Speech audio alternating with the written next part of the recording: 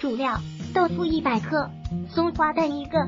辅料：香葱、香菜、盐、鸡精、香油。制作时间：十分钟内。先将豆腐放少许盐杀出水分，将沥出水分的豆腐切成小块，松花蛋切碎，香葱切碎，香菜切碎。把所有备料准备好，放入坛中，再加盐、鸡精、香油调味即可。烹饪技巧：豆腐一定要先杀出水来再拌，不然后面做出来会有山山水水的。